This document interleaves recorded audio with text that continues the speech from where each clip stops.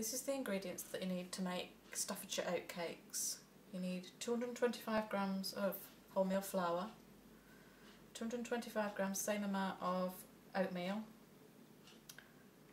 just a small amount of sugar, a teaspoon, half a pint of water, half a pint of milk, and they should both be warm, and one level tablespoon of yeast, which is about 15 mils. So first job to do is to dissolve the yeast. I'm going to use a bit of the water to make it a liquid. Mix. Keep mixing the yeast with the water until you end up with a paste. That could take you a few minutes.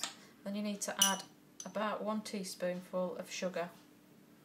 And mix it around some more. And then you can just leave that while you sort out the dry ingredients. Add the flour and the oatmeal together to a bowl and then just a pinch of salt and mix it round. Does that look alright? Okay. Give your yeast a few minutes somewhere warm to go frothy and then pour it into your dry ingredients. And then start adding the other liquid, the milk and the water and mixing them all together.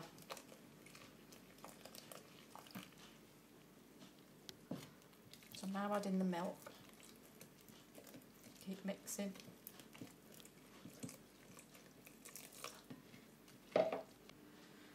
Once you've added all your milk and water, you should end up with a batter, a lumpy batter, because of the oatmeal.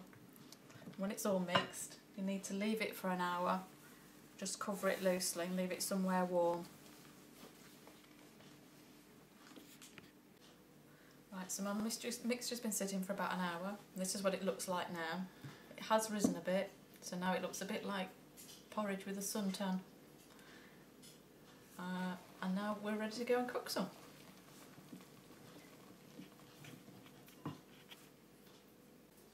Okay, I have my pan warming. If you have a griddle, that would be the ideal thing to use. I don't have one, so I'm just using a heavy based frying pan with just a little bit of oil in the bottom. Just waiting for it to get up to temperature.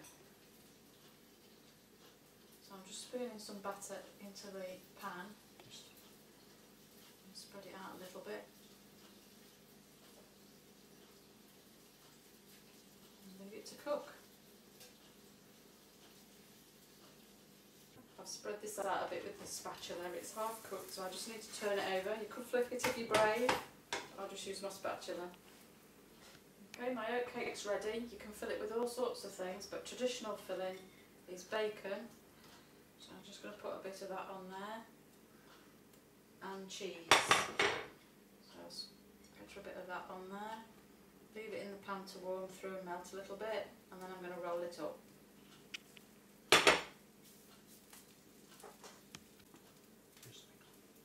So I'm now rolling it up, ready to serve. that's ready to eat.